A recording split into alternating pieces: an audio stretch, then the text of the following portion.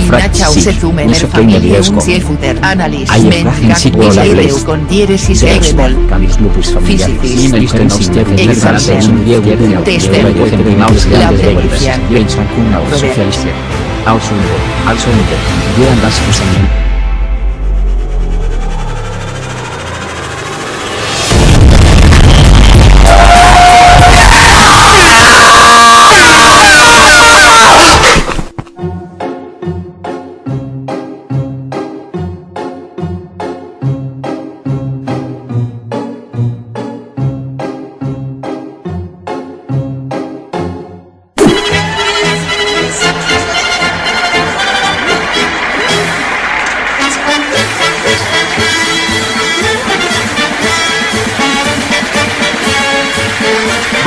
Die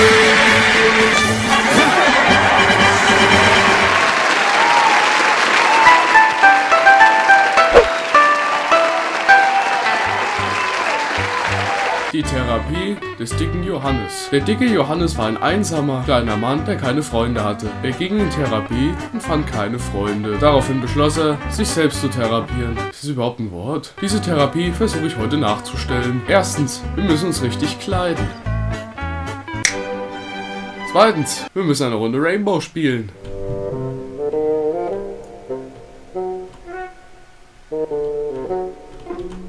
Äh, spiel eine Runde CSGO. Hot like a parked car. I sound weird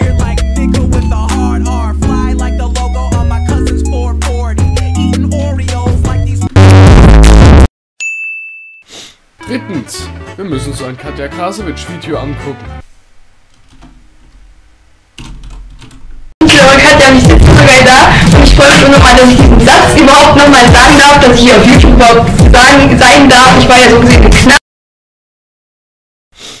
Viertens, bestelle einen Besenstiel.